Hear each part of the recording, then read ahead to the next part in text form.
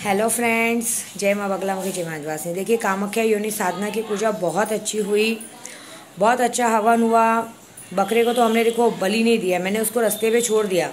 मैंने कहा, जो भी मेरी अला बला या मेरे कष्ट जो भी भाइयों की अला बला है, सारी अला बला लेके तू जा।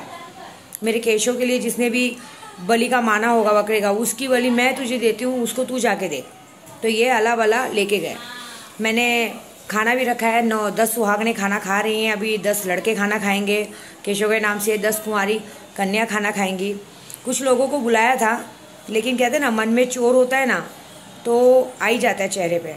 हमने कितने लोगों को बुलाया था तो दो चार जन जो हमेशा मेरे घर पे आते थे खाना खाने, दो चार जन नहीं आए। उनके दिल में मतलब इतनी गंदी सोच है कि माँ के प्रसाद को ठुकराया। कामाख्या माँ के क्योंकि ये कामाख्या का प्रसाद तो हम कामाख्या में लोगों को खिलाते हैं। कामाख्या के माँ के प्रसाद को ठुकराया। मतलब मैं तो बोलती हूँ, शायद उन्होंने अपना नसीब ठुकरा दिया। आज जीवन अब उनके घर में लक्ष्मी कभी नहीं आएगी। ये बहुत गंदी सोच है लोगों की, क्योंकि अन्य, अनाज इतना होता है कि अनाज, माँ का प्रसाद। पहली बात तो जो भगवान को मानते हैं, उनको क्या? वो लोग ये बात भूल गए हैं कि इसी माँ की पूजा ने, इसी बगला मखी, मुखी के हवन ने, इसी कामाख्या के हवन में उन सबको यहाँ पे लाया था। लेकिन कहते हैं ना, विनाश काले विपरीत बुद्धि, कोई कुछ नहीं कर सकता। उनका विनाश लिखा ही है। उनसे पंगा ले रहे हैं, जिनसे हम डरते हैं।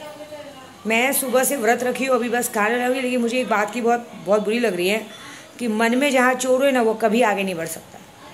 तुम उनको तुम उनको ललकार रहे हो, जो कहते ना, पानी में भी तेल का काम करते हैं। माता जी को ललकार रहे हो, पत्थर में से खून निकलता है, उनका कामाख्या का प्रसाद खाना मतलब जो जो लोग खाना, प्रसाद खा रहे ना, उनके घर में आजीवन लग धन के अपार वृद्धि होगी। हमेशा उनके घर में सुख शांति होगी। जिन्होंने आज प्रसाद ठुकराया है ना, उनका क्या होगा तो ऊपर वाला जानता है। मैं किसी को अपने मुँह से कुछ बोलूँगी नहीं। लेकिन एक बात याद रखना चाहिए कि जो बोलते हैं ना, भगवान नहीं है तो मानो तो पत्थर, नहीं मानो तो भगवान। अगर आप बोलोगे कि पत्थर है, पत्थर ही मानोगे। लेकिन ये बात याद रखना है कि जो भगवान आपको ला सकता है ना, वही भगवान आपको उल्टे पाँव भेज भी सकता है। बहुत सारे लोग भोग रहे हैं। मैं तो पहले ही बोली, मेरा बुरा सोचोगे, मेरे केशों का बुरा सोचोगे, तुम्हारा होना ही होना है। मैंने तो आज दिल से बोलूँ ना, मैंने आज आप सबके लिए भी व्रत रखा था और सबसे ज़्यादा व्रत मैंने अपने केशों के पापा के लिए और मेरे केशों के लिए रखा था। आप सभी के लिए, देखिए, मैंने आप सभी के लिए पूजा की, जाप किया, हवन किया, लेकिन व्रत मैंने सच्चे दिल से अपने केशव और केशव के पापा के लिए किया कि जो भी मेरे केशव के पापा पे नज़र डाले, उसकी आँखों में धुआँ फूटे और जो मेरे केशों पे नज़र डाले, उसकी उसकी ज़िंदगी बर्बाद हो जाए। मतलब उसके बच्चों तो कुछ नहीं हो। बच्चों ने क्या किया? उसको सज़ा मिले। उसके बदन में खुजली की बीमारी हो, ऐसी महामारी की बीमारी हो जो कोई छुड़ाए ना छूटे। मैं क्या बोली? हम छुड़ाए तो छूटे, उस्ताद छुड़ाए छूटे, दूसरा छुड़ाए ऊपर पड़े।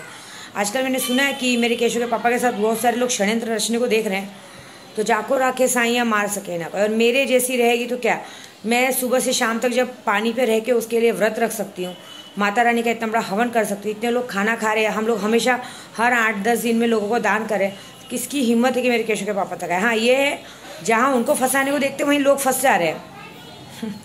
तो जहाँ मैं हूँ, वहाँ उस तक पहुँचना तो इम्पॉसिबल बात है। और मेरे केशों तक पहुँचना तो इम्पॉसिबल बात है, क्योंकि आज बकरा तो छूटा है। वो चौबीस घंटे में कमाल देखो। मन साफ़ रखो। मन साफ़ होगी ना तो सब कुछ साफ़ होगा। ऐसा मत सोचो, क्योंकि मैंने बहुत मन से जब उपवास रखे थे ना एक करवा चौथ का ये किसी के लिए दिल से उपवास रखो या कुछ करो ना, बहुत बढ़िया, सारी शक्तियाँ सम्मिलित हुई थी, मालूम है? सारे जिन सम्मिलित हुए थे। और आप यकीन नहीं मानोगे, इतने लिचड़ लोग हैं, शायद उनको पता था कि मैं बकरा छोड़ने वाली, ये भी नहीं सोचे।